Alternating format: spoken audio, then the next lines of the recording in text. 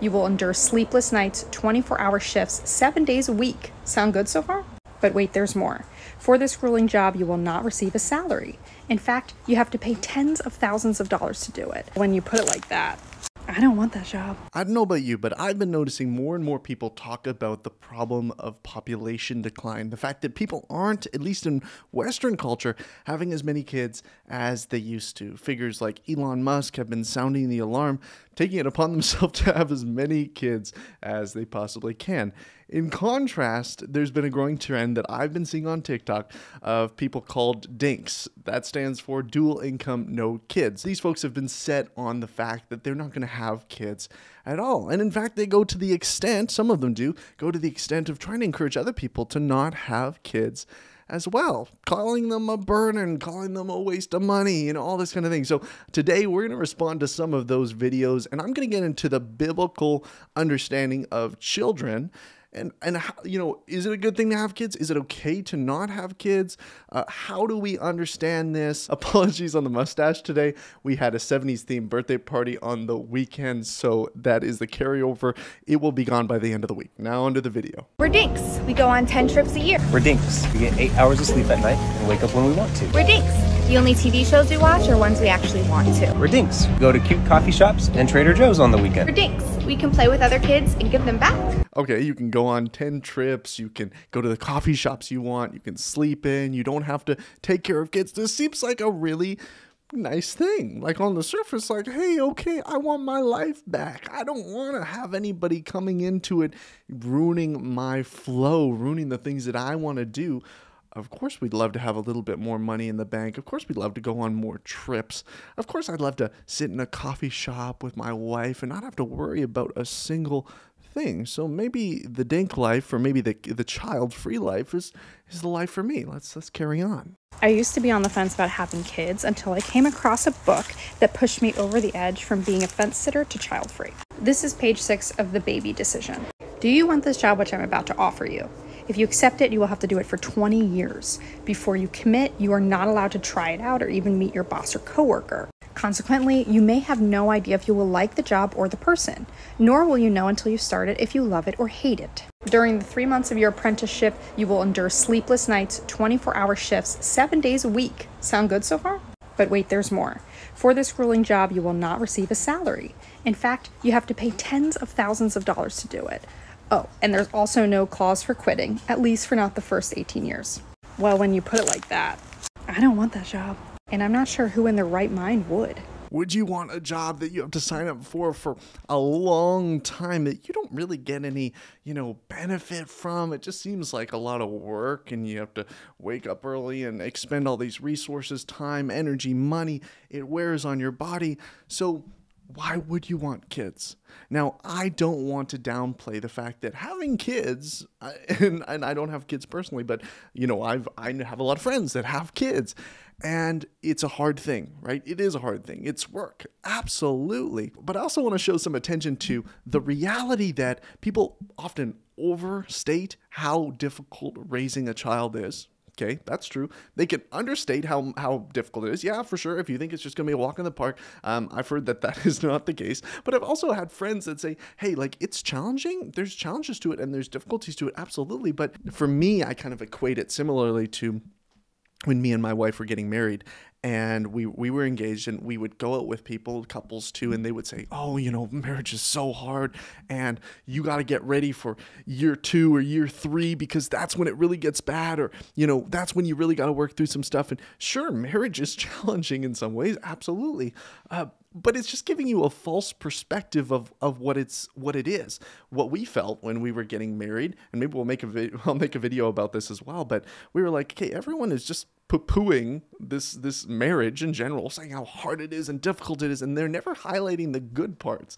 They're never saying how fun it is to get to wake up next to the person that you love and you're best friends with. And they're never saying, oh, you know what, it's actually awesome to be able to collaborate on different projects and things and have somebody that you can share your whole life with and, and every intimate part of you like that really wasn't what the focus was and similarly i think for having kids so many people focus on, oh, it's so challenging, it's so difficult, there's so much sacrifices. And I'm sure that is true, but they don't highlight the joy and the meaning and the purpose and the, the building of legacy and discipling your kid and how beautiful that is. Now, these videos that we're seeing here are coming from a non Christian perspective, people that don't have a, a focus on long term discipleship of their children and seeing them as a blessing, which we'll see later. Um, so I understand that outlook but let's dig in more into why these folks really don't want kids. Hey guys, I want to pop in here real quick to let you know that I'm doing a live hangout with my patrons tomorrow. That is Tuesday, February 6th at 7 p.m. Central Time. Now, if you want to join us, join on any tier, paid tier on Patreon and you can access to that stream. We do these occasionally and they are a lot of fun. You get access to bonus videos as well if you join on Patreon as well as our Discord. Looking forward to seeing you at the Hangout and uh, back to the video. I am 34 years old and I have been married for nine years, and my husband and I decided not to have kids because one of our core values is freedom. Let me explain. When my husband and I started dating, we both fell in love with how independent we were and how dedicated we were to our careers and our ambition and our purpose and our devotion to our own individual happiness. As time went on, we saw a lot of our friends having kids and my siblings having kids, and it reinforced the decision of not having kids for us because we saw just how much it changes your lifestyle. And my husband and I have an amazing life. Like, we do whatever we want. We're seeing a pretty consistent theme here. I don't want to have my freedom taken away from me. I don't want to have my resources taken away from me. I don't want to be drained of these things. So if I can keep them for myself, then I'll be happier, I'll be healthier, I'll have a, a better life in general. So why would I want kids? I think about marriage because that's kind of my connection point and how even in marriage, you need to make sacrifices. You need to, if you want to get married, like it's not just, I'm going to get all this benefit and da da da da da. Of course, marriage is, is so life giving and there's so many extra pluses to it and benefits of it, but you are you need to make sacrifices. That's part of it. All of a sudden, it's not just about what you want to do at any given moment, or I want to take this job here, or I want to do this here, or I want to spend my money this way, or I want to live this kind of lifestyle. It says, okay, I'm going to take this other person into not only take them into account, but live literally every day out of sacrifice for them. And that's what we're called to in the Bible, okay? And similarly, having kids, yeah, that's a sacrifice, absolutely. But we're no strangers to sacrifice. We sacrifice for the things that we find valuable. What are we valuing in this moment? And so many people value their own personal comfort and happiness over greater meaning, purpose, and ultimately following God and what He wants us to do. Now, I'm not saying everybody's going to have kids. That's not true. Uh, some people are infertile. And in those situations, it's like, okay, hey, how are you going to invest in the next generation in different ways? But ultimately, if you don't have your life transformed by God, you're not going to be looking to invest in the next generation. You're going to look to how can I hoard what I have out of self protection? That's, I think, the fear that so many people have these days. If I have a child, if I give up what I have, then I will be sad, I will be poor, I will, I will not have what I need that's giving me fulfillment and satisfaction because I'm looking to these things to give me fulfillment and satisfaction. Uh, but for the Christian, how do we look at it? Okay, well, we can go to a couple verses here. Let's go. Let's go. Proverbs 17 6 says, Grandchildren are the crown of the aged, and the glory of children is their fathers. It is a, a crown to have grandchildren. It's a, it's a blessing. It's a good thing. We go to Psalm 127. Children are a heritage from the Lord. The fruit of the womb is a reward. Like arrows in the hand of a warrior are the children of one's youth. Blessed is the man who fills his quiver with them. I heard it said that children are not just purely blessings without condition, right? There are conditions to the fact that they are going to become blessings, and that is the, the discipleship of them. Are you training them in the way they should go, that when they are old, they will not depart from it? Are you instilling in them the truth of who God is and what the gospel is and what he desires and requires of us are those the things that you're you're pouring into your kids now a lot of people in the similar camp that I grew up in uh, the homeschool conservative camp and tradition, uh, a lot of those folks are obsessed with how many kids can I possibly have, right? Or, you know, I'm going to have tons and tons of kids, and that's all going to be a blessing. The condition is are you actually raising those kids and discipling those kids that when they're old, they will be a blessing to you? Or are you raising them and just having kids because you think they're a blessing, but you're not really pouring into their life? now. So there, there's there are two ditches we're seeing here. There's the ditch of saying I'm not going to have any kids because I want to keep everything for myself, and then there's another ditch of saying I'm going to have tons of kids, but yet you're really not doing the the raising of them justice. You're not instilling in them what needs to be instilled, and you're just seeing it as an opportunity. Let me just have a lot of kids because that seems like a, a good thing according to the Bible. Well, let's hold on for a second. The Bible doesn't give us any any kind of realm or, or figure to play with in terms of how many kids we need to have. Okay, so that's not there. We know they're a blessing if if you raise them according to God, right? Okay, that's good. But yet we're seeing so many so many people that aren't Christians say, hey, they're a burden, they're a waste of time, they really don't provide as much meaning and and and life satisfaction as we think that is, is we they should compared to what we're pouring into them.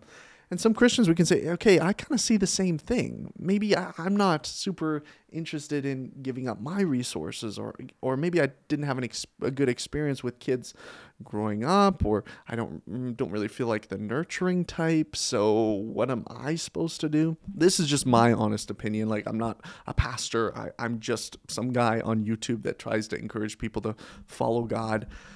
Here's the deal. Like I see kids as such a great opportunity to pour into them uh, a love for God, to raise disciples and evangelists and people that are going to share His gospel. Um, and also just building family legacy. That is so important to me. You see so many broken families, so many families that have been built on addiction and sin and just generational sins that have persisted and persisted and persisted. Having children and raising them in a way that is godly and is God glorifying as best that we can we can do that and reversing some of those generational sins that have been consistent throughout your family I think that is so beautiful. That is so cool to me. If you didn't have good parents, you can say, hey, these children, I'm going to raise them differently. I'm going to raise them according to God. Maybe your parents were hypocrites. I mean, most of us are hypocrites, but maybe they were real big hypocrites. You can say, I'm actually going to live out my faith for my kids. I think of the, the parable of the talents. The guy with four talents, or, or the most talents anyway, he, he doubles them. And the guy with second most talents, he doubles them too. And the guy with the least talents, this is, this is money, um, he just buries it in the ground. He doesn't do anything with it because he's scared of losing it. To me, God has given you so much, right? And maybe you feel like, man, I couldn't, I couldn't even afford having a kid, or I'm not in the space to. Look, I, I, I get, I get that. And there's a place for responsibility and wisdom and discernment. All that is true. But there's also a place of saying, I'm going to invest what I have. And part of that is investing in the next generation. So hey, maybe you can't have kids or you, are not able to have a kid right now. Uh, how can you invest in the next generation? How can you pass on this godly legacy to maybe it's not your immediate children, blood children, but that next generation?